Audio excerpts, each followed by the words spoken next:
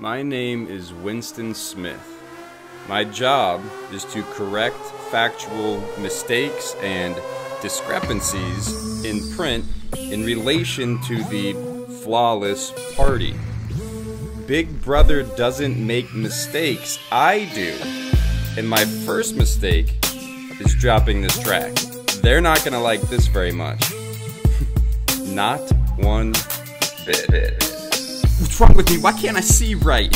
What everyone else can see seemingly so easily. It must be me, there's tons of them, it must be me, right? Why would one person see something no one else can see, right? Winston Smith, party of one, please. Let us show you to your seat. There's one right by the telescreen, see? We'll get you some gin, help you to think right.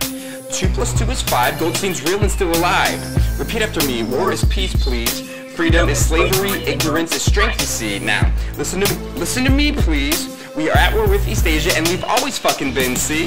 Fuck this shit, fuck this bitch, I hate these motherfuckers. Making me think I can't remember my own fucking mother. I had a mother, had a sister, had a life before you, and the one thing that I'll always know is fuck Big Brother. I love Goldstein, I love Prolies, hate these party fuckers. And if there is an overthrowing of these brother lovers, I got my money fucking rolling on the Proly suckers. They fucking dumb, but they got numbers and they not as cucked as us.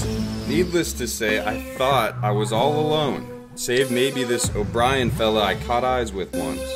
But then, out of nowhere, as love usually is, Julia, a girl I hated, fell down right in front of me, and as I helped her up, she handed me a note.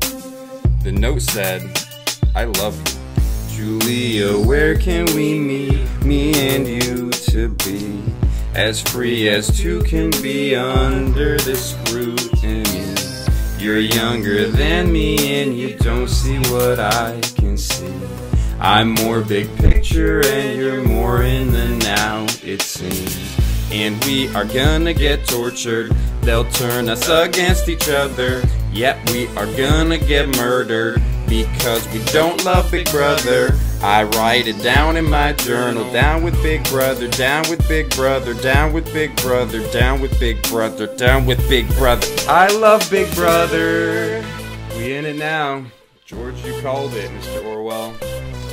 2021. You can see stuff clearly and then just everyone believes something else that they're told and you know, I don't know what else to call it.